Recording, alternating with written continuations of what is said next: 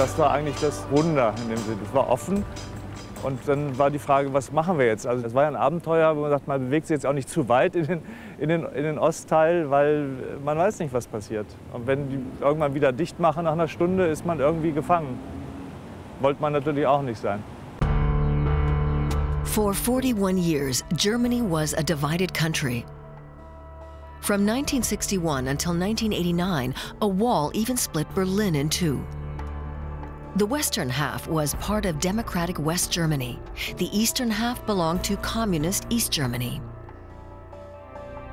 And it guarded its borders zealously. Anyone who tried to escape was arrested or shot. For West German citizens, traveling to East Germany was relatively easy. They just had to apply for a visa, which was usually granted. Though vocal critics of the regime were banned from entering East Germany. Like West German filmmaker Hartmut Jahn. Also ich kam ja also aus Hannover, man kommt nach Berlin hinein über den Transit. Das heißt, man wird vorbereitet auf diese Mauer. Die Mauer ist nicht einfach äh, eine Grenze, sondern man kommt da hindurch, man wird durchgeleitet, man muss bestimmte Regeln erfüllen, man wird so eingetunt. Und dann ist man in Berlin, Westberlin. Hartmut Jahn came here to attend university in 1976. Back then, West Berlin was like an island, walled in on all sides by East German territory. Over the years, the wall became part of Berliners' everyday lives. Für die meisten, wenn man hier leben möchte, ist es ein Verdrängungsprozess, weil man kann nicht ständig unter so einer Bedrohung, Atomwaffen, also was bedeutet das? Wenn man sich das klar macht, ähm, dann ist es natürlich ein Wahnsinn. Dann wird man nie hierher gehen, dann würde man irgendwo in Island leben oder woanders. Auf jeden Fall nicht an der Grenze, wo sich die Waffen starrend die Systeme gegenüberstehen. Es gab ja nur Korrespondenten eigentlich, offizielle, und äh, die waren limitiert auf einer bestimmten politischen Haltung vielleicht auch. Und wir waren freie Korrespondenten, in dem äh, 1982, 83, bis wir dann auch Einreiseverbot hatten. Und dann haben wir gesagt, dann müssen wir eben den ganzen Osten in den Westen bringen und haben dann äh, Spielfilm gemacht. Berliner Blau war dann äh, auch die Zusammenarbeit mit Künstlern, also die Mauer zu sehen als Projektionsfläche für künstlerische Arbeit. Dann eben Thierry Noir, der dann an der Mauer seine Bilder malt.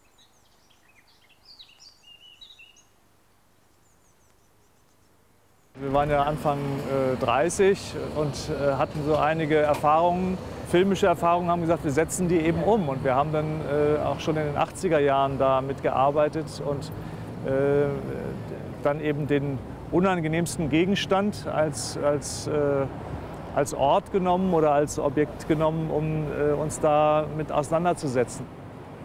Es hat sich halt niemand um die Mauer gekümmert und das war Anlass genug, uns zu sagen, dann sind wir eben diejenigen, die äh, damit was zu tun haben.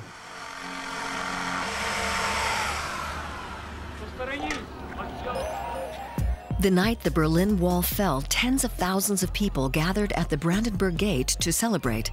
Hartmut Jahn was at a restaurant in West Berlin with his girlfriend when he heard that the border was open.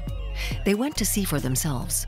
Also wir haben die Menschen erlebt, die euphorisch von Ost nach West gegangen sind. Wir sind dann zum Brandenburger Tor, wollten das dann direkt erleben.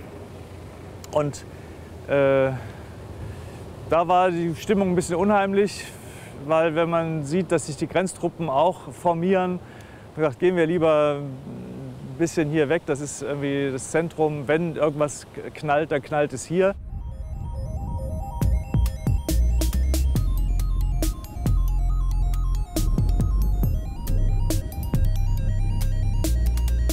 Ja, wir sind vom Brandenburger Tor äh, Invalidenstraße gegangen, weil Invalidenstraße kannte ich schon von vorherigen Übergängen und äh, sind dann hier rein. Und äh, hier war natürlich Halligalli, große,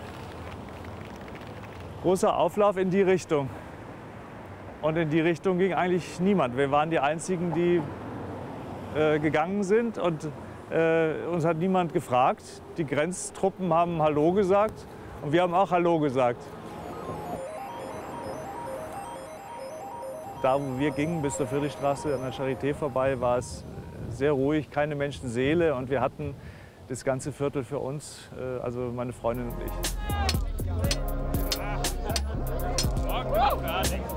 The wall quickly disappeared from Berlin's cityscape. But where did it go? Who owned pieces of it? In the year 2000, Hartmut Jan decided to find out and discovered segments of the wall all over the world.